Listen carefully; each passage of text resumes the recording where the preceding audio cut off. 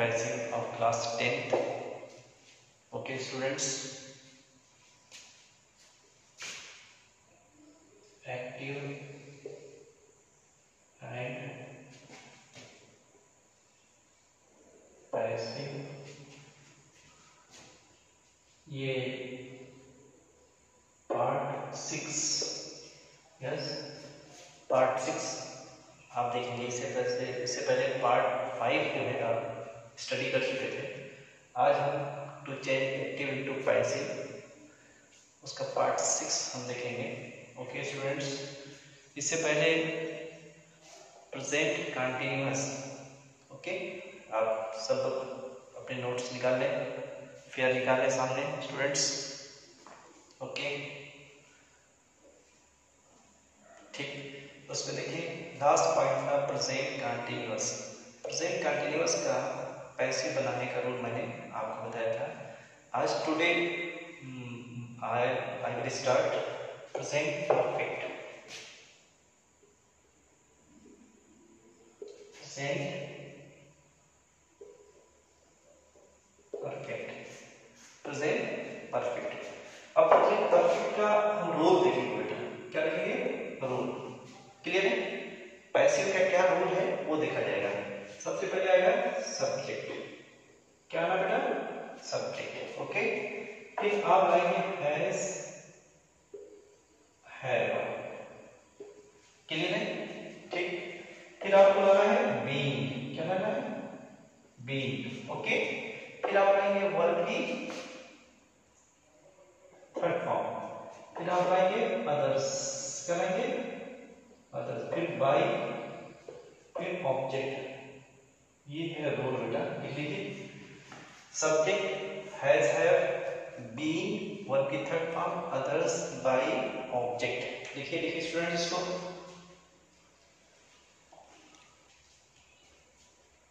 Yes okay students देखिए subject has have been verb की third form others by object clear है active में जो रूल होता है सब्जेक्ट हैज़ हैव वर्ब की थर्ड फॉर्म अदर्स और ऑब्जेक्ट इसमें पैसिव जब बनाएँगे तो बीन बन जाएगा. बी डबल बी बीन को आपको बढ़ाना पड़ेगा पैसिव जिस तरह से प्रेजेंट इंडेफिनिट में आप इस एम आर बढ़ा रहे थे, आप प्रेजेंट कंटिन्यूअस में बीइंग आपने बढ़ाया था। इसी तरह से अगर परफेक्ट का कोई टेंस रहेगा क्लियर है? तो आपको क्या करना पड़ेगा बेटा? Being okay? Being B double B N, ये आप बढ़ा देंगे। ठीक, देखते रहिए बेटा। एग्जांपल है। She has bought many books. She has bought many books. उसने खरीदा है मेनी बुक्स कई किताबें। ये present indefinite present indefinite present indefinite में वर्ब की थर्ड फॉर्म ही होती है सबको पता है present perfect sorry present perfect ये प्रेजेंट परफेक्ट में जो वर्ब की क्या होती है? थर्ड फॉर्म होती है। क्लियर है? तो बाट यहाँ पे वर्ब की थर्ड फॉर्म है। क्लियर पैसिव में भी थर्ड फॉर्म होता है, लेकिन पैसिव में ये प्रेजेंट परफेक्ट में बीइंग जब तक नहीं आएगा, जब तक वो पैसिव नहीं है दैट मींस ये एक्टिव है इसमें अगर बीइंग लगा देंगे, तब ये क्या बनेगा? पैसिव बनेगा। क्या बनेगा? पैसिव मैं आपसे सिर्फ़ पूछूँ कि प्रेजेंट इंडेफिनिट में क्या लगाना है? पैसिव में? आप कहेंगे सर इज़ एम आर लगाना है। मैं पूछूँ कि प्रेजेंट कंटीन्यूअस में क्या लगाना है? आप बोलेंगे, सर बीइंग लगाना है। क्लियर है? अब देखिए। ये असर्टिव क्लियर असर्टिव की पहचान क्या है? सब्जेक्ट पहले होगा she has bought many books उसने खरीदा है, बहुत सी किताबें। ये बॉट किसने किया है? खरीदा किसने? है शी शी पहले इसका मतलब ये असर्टिव है। अब देखिए सबसे पहले आप क्या लेंगे सब्जेक्ट क्या लेंगे सब्जेक्ट एवरीबॉडी नोस कि सब्जेक्ट कहाँ से आएगा? एक्टिव के ऑब्जेक्ट से। एक्टिव का ऑब्जेक्ट क्या है? शी हैज़ बॉट उसने खरीदा। क्या खरीदा? बुक्स क्या खरीदा? बुक्स क्या है किस ऑब्जेक्ट मिलता है? तो बुक्स क्या है बेटा? ऑब्जेक्ट है। और मेरी उसका बॉडी गार्ड है। मेरी बुक के लिए है तो बुक के साथ ही रहेगा। क्या हो जाएगा? मेरी बुक्स। मेरी बुक्स। ओके? अब आपको लगा है है। बुक्स प्लूरल है तो आप है लाएँगे क्या लाएँगे है। फिर आपको लाना है बीन क्या लाना बेटा? बीन क्लियर है? फिर आपको लाना वर्ब की थर्ड फॉर्म वर्ब वॉट है? वॉट का थर्ड फॉर्म वॉट ही होता है। वॉट का थर्ड फॉर्म वॉट होगा। क्लियर है? फिर आपको अदर्स अदर्स में कोई वर्ड ऐसा नहीं है जो अदर्स बन रहा है। फिर क्या लाएँगे बाय बाय बन जाए ऑब्जेक्ट ऑब्जेक्ट कहाँ से आएगा? बेटा, सोचिए सोचिए सब लोग स्टूडेंट्स ऑब्जेक्ट कहाँ से लाना है? यस यस हाँ रिप्लाई करिए। ऑब्जेक्ट कहाँ से लाना है? सब्जेक्ट से। एक्टिव के सब्जेक्ट से। एक्टिव का सब्जेक्ट क्या है? शी शी का अगर आप की बनाएँगे? क्या हो जाएगा हर क्या हो जाएगा बेटा? हर क्लियर है? अब देखिए। She has bought many books उसने खरीदा है, बहुत सी किताबें। Many books have been bought by her बहुत सी किताबें खरीदी गई हैं बाय हर उसके द्वारा। बहुत सी किताबें खरीदी गई हैं उसके द्वारा। स्टूडेंट्स क्लियर है? ओके अगर ये सेंटेंस निगेटिव रहता है, मान ये शी हैज़ नॉट बॉट होता तो ये पैसे में भी नॉट लगता है। क्या हो जाता है ये? Many books have not been bought by her okay students देखिए क्लियर है अगर ये इंट्रोगेटिव रहता है तो जो इसमें हेल्पिंग वर्ब है यानी हैज़ हैव जो है क्या बेटा हैज़ हैव ये सब्जेक्ट से पहले आ जाएगा इंट्रोगेटिव में जो हेल्पिंग वर्ब होता है वो कहाँ सब्जेक्ट से पहले आता है ये क्या कहता है have many books not been bought by her only question आता है क्या बेटा question have many books not been bought by her clear है? अगर इसमें डब्ल्यू एच वर्ड रहता क्वेश्चन वर्ड रहता, ठीक है ना? तो भी आप जैसे वेन रहता when have many books been देखो, ठीक है ना? क्लियर है? अगर इसको आप यहाँ पे y कर दें तो नॉट भी मैं लगा सकता हूँ। y है many books, not been but by her. Yes ये देखिए स्टूडेंट्स डब्ल्यू एच हो गया वाई रहता है वेन रहता तो पहले आता। क्लियर है? तो क्या हुआ कि आप ये पूरे एग्जांपल्स उसको पूरा लिखिए। अगर ये अफर्मेटिव है तो अफर्मेटिव का रूल अगर ये निगेटिव रहता है तो इस रूल से बनता पैसे उसका। अगर ये इंट्रोगेटिव रहता है तो ये दोनों रूल से आपका पैसे बन जाता है। ओके स्टूडेंट्स इसको राइट डाउन कर लीजिए। नोट डाउन करिए इसको।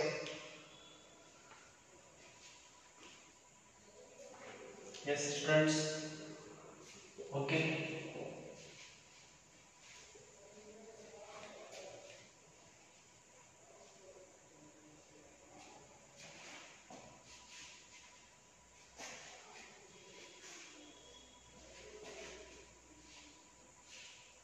ठीक अब जो नेक्स्ट टेंस है वो है present perfect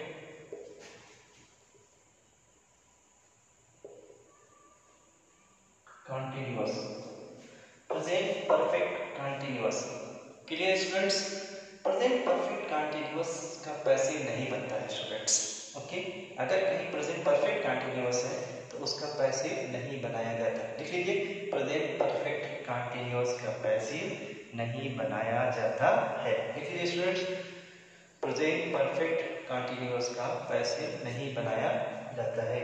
जैसे कर रहे हैं? They have been playing cricket for three years. ये देखो they have been playing cricket for three years ये पैसे नहीं है, देखो। पैसे रहे तो थर्ड फॉर्म मस्ट आना चाहिए बिकॉज़ थर्ड फॉर्म के पैसे नहीं होगा। They have been playing cricket for three years आप देखेंगे वक्त समय लगा टाइम लगा है। ठीक, ये प्रेजेंट परफेक्ट कंटिन्यूअस है। तो प्रेजेंट परफेक्ट कंटिन्यूअस का पैसिव नहीं बनता है। Okay students present perfect continuous का पैसिव नहीं बनेगा लिखिए ऐसे कर लीजिए आप ताकि कभी आए तो आपको समझ में आए कि ये तो परफेक्ट कंटिन्यूअस है। कोई सा भी परफेक्ट कंटिन्यूअस हो। चाहे प्रेजेंट परफेक्ट कंटिन्यूअस हो चाहे पास्ट परफेक्ट कंटिन्यूअस हो, चाहे फ्यूचर परफेक्ट कंटिन्यूअस हो, उसका पैसे नहीं बने। कुछ स्टूडेंट्स के ध्यान में बात आ रही है कि आखिर क्यों नहीं बनता है सर? आप पूछ सकते सर, क्यों नहीं बनता है? ठीक है ना? तो आप आप इंग्लिश पढ़ रहे बेटा। क्लियर है? अब इंग्लिश में वो लोग प्रेजेंट परफेक्ट कंटिन्यूस को पैसे में नहीं बोलते हैं तो हमें भी नहीं बोलना है। हमें भी नहीं बोलना है। क्लियर है? लैंग्वेज हमारी नहीं है, हम तो दूसरे की लैंग्वेज को सीख रहे हैं। क्लियर है बेटा? तो इसमें बहुत इफ़ एंड बट आप नहीं कर सकते। इफ़ एंड बट नहीं कर सकते। अब जैसे क्या है बेटा? पी यू टी को आप क्या पढ़ते हैं। पुट लेकिन वही स्पेलिंग सेम है। बी यू टी तो आप बट पढ़ते हैं। ये इसको आप पुट पढ़ते हैं, इसको बट पढ़ते हैं। अब कोई इसमें कॉम्प्लिकेशन लेकर के आए लड़ाई करे आपसे, झगड़ा करे कि ऐसा क्यों हो रहा है? क्लियर है? तो जैसे इंग्लिश मैन बोल रहा है, वैसे ही हमें इसको बोलना है। अब देखो। गो ये टू, ये देखो G O go T O to. अब टी ओ टू तो टी ओ गो ऐसा नहीं बोल रहा ब्यूटी बट तो ब्यूटी बट ऐसा नहीं बोल रहा स्पेलिंग देख लीजिए। वो भी वो इसमें गो हो। गया, ये टू है। लेकिन आप ये एंड नहीं कर सकते, बेटा स्टूडेंट्स में जरा ध्यान दीजिएगा। बस आपने सीख लिया कि प्रेजेंट परफेक्ट कंटिन्यूअस हो, या पास्ट परफेक्ट कंटिन्यूअस हो, या फ्यूचर परफेक्ट कंटिन्यूअस हो, उसका पैसे नहीं बनता है तो आप उसका पैसे नहीं बनाएँगे। क्लियर है? कुछ लोग बनाने की कोशिश करते हैं, मैं समझता हूँ कि वो लोग सही नहीं करते हैं रॉन्ग करते हैं, ठीक है ना? आपको आपके पास तो आप बस ये कर सकते हैं सर, इसका पैसे नहीं बनता है, इस वजह से इसका पैसे नहीं बना रहे बस। क्लियर है?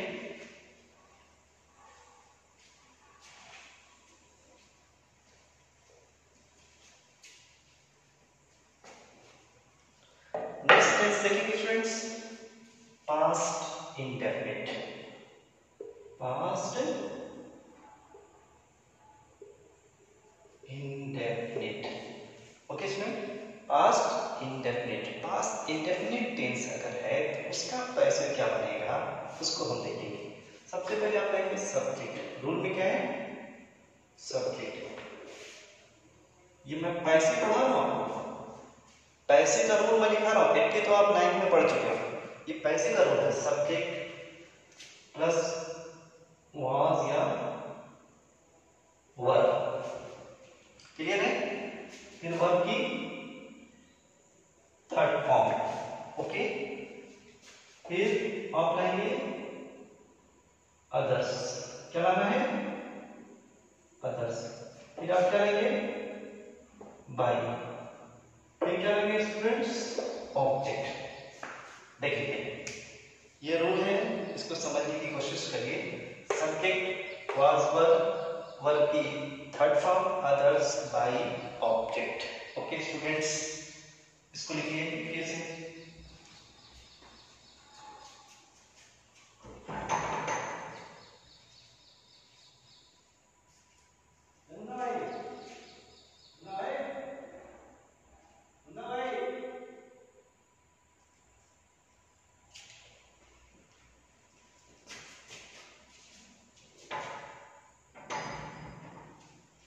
Yes, students. Okay, okay. Subject subject was verb or the third form others by and object this is the rule of past indefinite okay अब देखिए पास इंडेफिनिट में आपको वाज वर्ब लाना है क्या लाना है पास इंडेफिनिट एक्टिव में वाज वर्ब नहीं आता है लेकिन अगर उसका पैसिव बनाएँगे तो डेफिनेटली आपको वाज वर्ब लाना पड़ेगा विदाउट वाज वर्ब आपका पैसिव करेक्ट नहीं हो सकता है तो आपको ध्यान देना पड़ेगा कि जब आप से पास इंडेफिनिट का पैसिव बनाएँगे तो डेफिनेटली आपको यूज़ करेंगे उसमें वाज एंड वर्ब क्लियर अब देखिए जैसे। He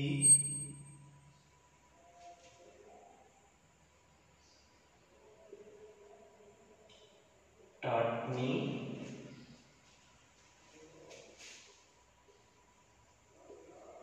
English. Yesterday देखिए he taught me English yesterday उसने मुझे इंग्लिश पढ़ाया yesterday कल उसने मुझे कल इंग्लिश पढ़ाया। यस स्टूडेंट्स जरा इसको देखिए। ये है पास इंडेफिनिट पास इंडेफिनिट की पहचान ये होती है कि उसमें वर्ब का सेकेंड फॉर्म होगा, या तो उसमें डिड का प्रयोग होगा निगेटिव में, और इंट्रोगेटिव में किसका प्रयोग होगा? डिड का प्रयोग होगा। एवरीबॉडी नोस आप टेंस पढ़े हो प्रॉपर्ली ये कुछ ऐसे मिलेंगे जो सेकेंड और थर्ड में एक ही जैसे होते हैं। जैसे प्ले फ़र्स्ट है सेकेंड उसका प्लेट है थर्ड भी उसका प्लेट है। क्लियर है? फ़र्स्ट समझ में आ रहा है। प्लेट प्लेट टीच है सेकेंड फॉर्म है टार्ट थर्ड फॉर्म इसकी क्या है टार्ट क्लियर है तो फ़र्स्ट तो समझ में आ रहा है। सेकेंड और थर्ड में कंफ्यूजन हो सकता है कि ये सेकेंड है कि थर्ड है स्टूडेंट्स तो उसके लिए आप समझ लेंगे कि अगर ये थर्ड रहेगा, उसके साथ हैज़ हैव हैड ये तीन वर्ड ज़रूर आएँगे। बगैर हैज़ हैव हैड के, अगर इसको थर्ड बनाना है, किसी भी वर्ब को अगर थर्ड आप मानते हो तो उसके साथ डेफिनेटली हैज़ हैव हैड आना चाहिए। अब ये टार्ट में इंग्लिश अब टार्ट आपको दिख रहा है कि सर ये तो सेकंड भी है, ये तो थर्ड भी है तो उसमें सेकंड है कि थर्ड है, ये फ़र्क कौन करेगा? अगर इसके साथ हैज़ हैव हैड लगा है तो ये थर्ड माना जाएगा, नहीं तो ये क्या माना जाएगा? सेकंड फॉर्म है। तो टार्ट के साथ न हैज़ है, न हैव है, न हैड है तो दैट मींस ये सेकंड फॉर्म है, इसका मतलब ये पास्ट इंडेफिनिट है। क्लियर स्टूडेंट मैं समझता हूँ कि इसको समझ गए होंगे आप। अब देखते हैं इसको। बनाते हैं। ही टाट मी इंग्लिश स्टडी उसने मुझे कल इंग्लिश पढ़ाया। उसने मुझे कल इंग्लिश पढ़ाया। ये असर्टिव असर्टिव की पहचान बार बार मैं बता रहा हूँ कि सब्जेक्ट पहले होगा उसमें सेंटेंस जो शुरू होगा सब्जेक्ट से शुरू होता है। टाट वर्ब है, ये टाट किसने किया है? ही ने किया है। उसने पढ़ना है। ही ने पढ़ा है। वो पहले है जो वर्ब कर रहा है पहले इसका मतलब वो असर्टिव है और फुल स्टॉप भी है। ठीक? तो ये असर्टिव है तो इसको आप वैसे बनाएँगे तो उसको भी असर्टिव ही रहना चाहिए। क्लियर तो देखिए, सबसे पहले क्या लेंगे? सब्जेक्ट सब्जेक्ट कहाँ से लाना है स्टूडेंट्स एक्टिव के ऑब्जेक्ट से। कहाँ से लाना है? देख लीजिए एक्टिव ऑब्जेक्ट क्या है? क्या या किसको से ऑब्जेक्ट मिलता है? यस स्टूडेंट्स क्या या किसको से ऑब्जेक्ट मिलता है? क्या पढ़ाया? इंग्लिश किसको पढ़ाया? ओ, मुझको। किसको? मुझको। दैट मींस इसमें दो ऑब्जेक्ट है। क्या है?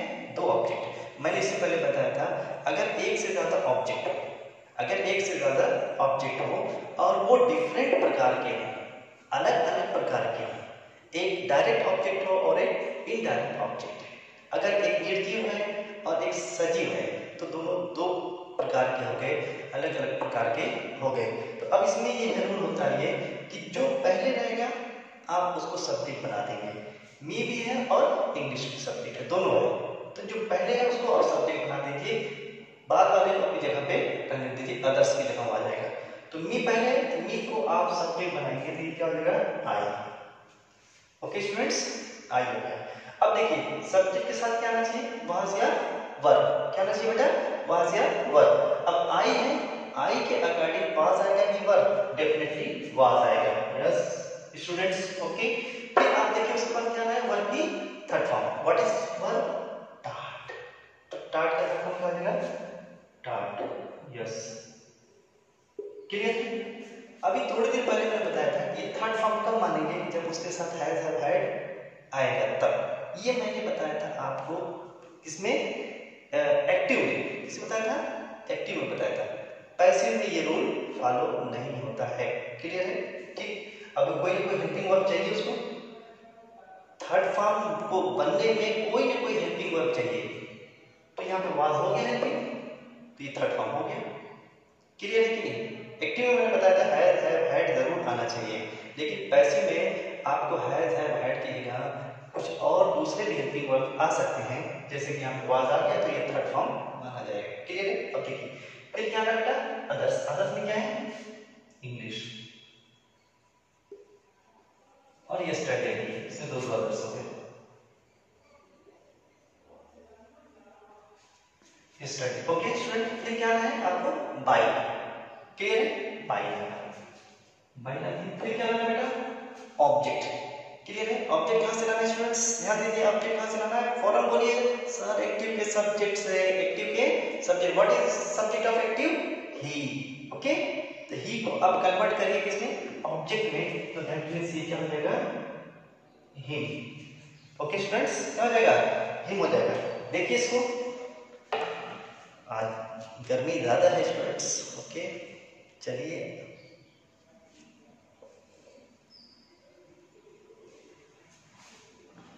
ठीक है। I will start English yesterday by him clear है? अब देख लेते हैं। अगर यही सेंटेंस निगेटिव होता, ये होता he did not teach me English yesterday तो अगर वो निगेटिव होता तो ये वैसे में उसका निगेटिव होता और नॉट आप लगा देते कहाँ पे? I was not taught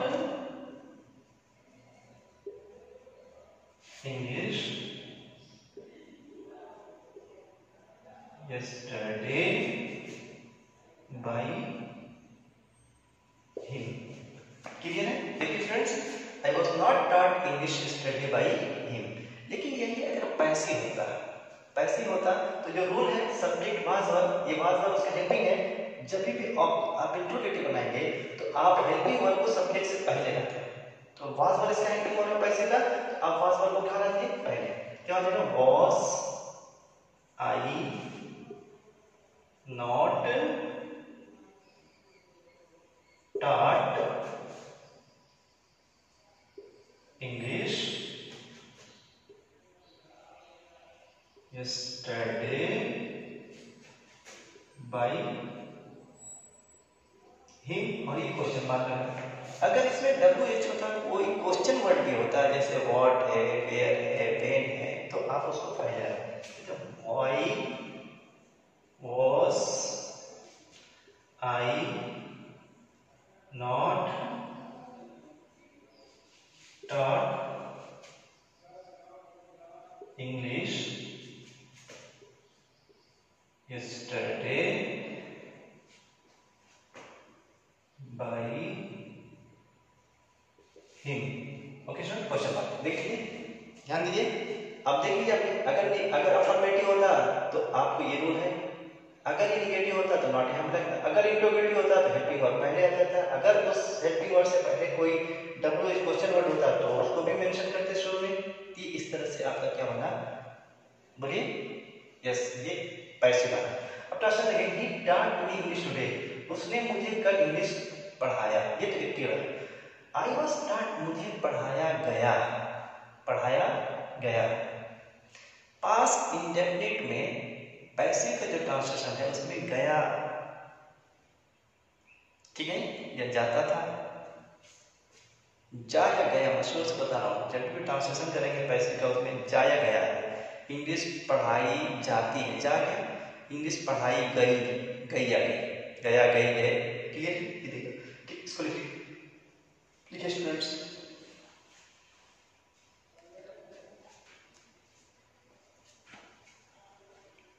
yes students देखिए। हाँ, ये ये रहा पास इंडेफिनिट का रूल आपने पढ़ा है। पास इंडेफिनिट क्लियर है?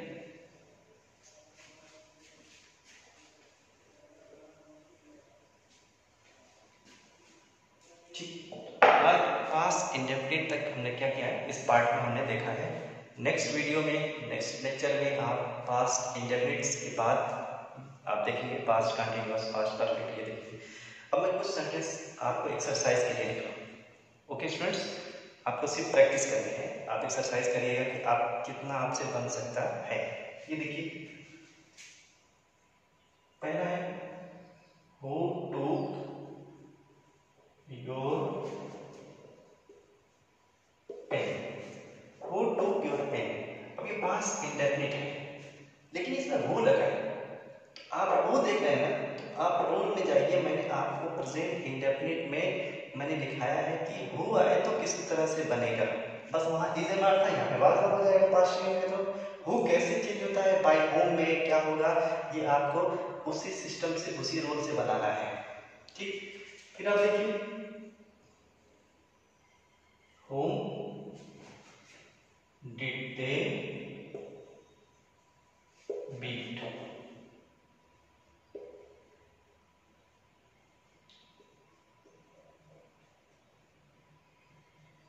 study. Clear student whom did they beat yesterday ये भी डिड है पास्ट इंडेफिनिट है।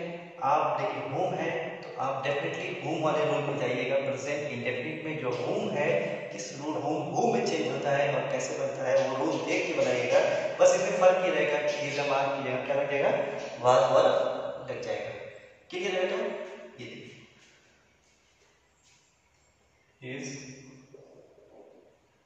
he not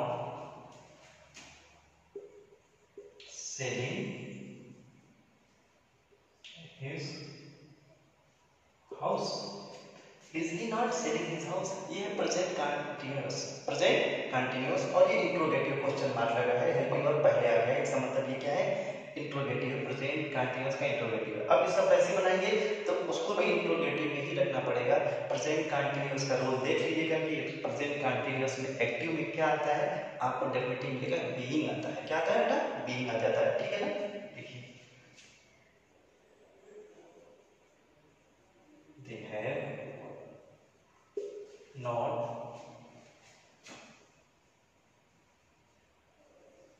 cheated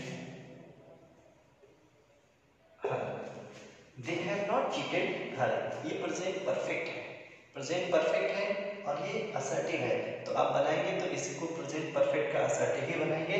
present perfect में अलग से आप पैसे में एक वर्ड लाते हो, वो लाते हैं बीइंग क्या लाते हैं बेटा? बीइंग बार बार मैं समझा रहा हूँ कि अलग से आपको कोई ना कोई वर्ड लाना पड़ता है क्या बनाने के लिए? पैसे बनाने के लिए। क्लियर बेटा? ये देखिए।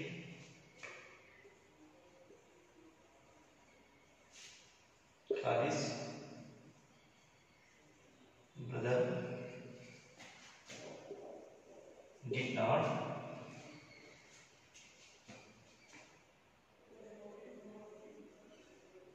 teach me. Khalid brother did not teach me Khalid के भाई ने मुझे नहीं पढ़ाया? डिड आ गया ये पास इंडेफिनिट है या निगेटिव है?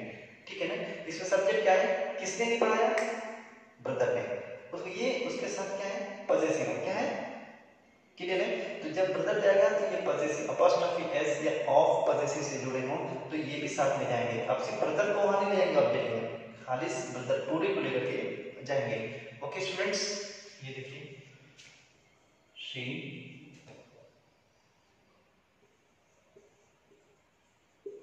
writes many letters she writes many letters daily yes she writes many letters daily ये है present indefinite क्या है present indefinite अब present indefinite है तो present indefinite के रूल में हो जाएँगे उसी के अकॉर्डिंग आपको इसको कन्वर्ट करना है इसको पैसे में प्रेजेंट इंडेफिनिट में आप घर से अलग से लाते हो एस एम आर क्या लाते हो S M R okay students एक और देखिए when do they play cricket in the evening when do they play cricket in the evening clear है डू डज है इसका मतलब प्रेजेंट इंडेफिनिट ये भी है क्लियर इंट्रोगेटिव है क्वेश्चन मार्क पड़ा है डब्ल्यू एच है तो आप पैसे बनाएँगे तो उसमें भी डब्ल्यू एच आना चाहिए। प्रेजेंट इंडेफिनिट में अगर डू डज आता है तो वो पैसे में हट जाता है, उसको नहीं यूज़ करते हैं।